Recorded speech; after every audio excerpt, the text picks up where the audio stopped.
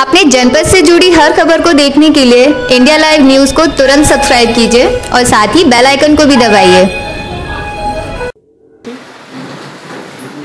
जो मक्खनपुर की पिछले काफ़ी दिनों से लाइट की समस्या चल रही थी और मक्खनपुर नगर पंचायत होने के बाद मक्खनपुर की जनता द्वारा कई बार बताया गया।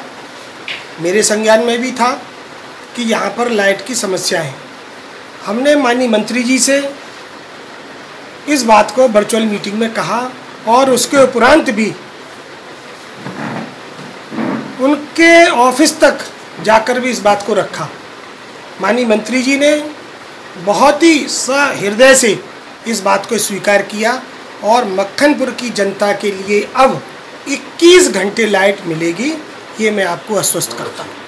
मक्खनपुर की जनता को बेहद माननीय ऊर्जा मंत्री जी प्यार भी करते हैं और आशीर्वाद भी उनका है कि अब किसी भी तरह से मक्खनपुर की जनता को बिजली के मामले में कोई परेशानी नहीं होगी।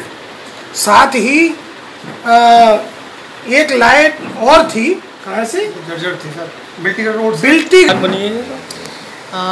मक्खनपुर को पहले नौशेरा से जी। सप्लाई मिल रही थी वो माधवगंज होते हुए मिलती थी 33 लाइन जी जी। लेकिन अभी वर्तमान में इसको नए नया लाइन का निर्माण किया गया जो डायरेक्ट नौशेरा से मक्खनपुर के लिए पोषित थी।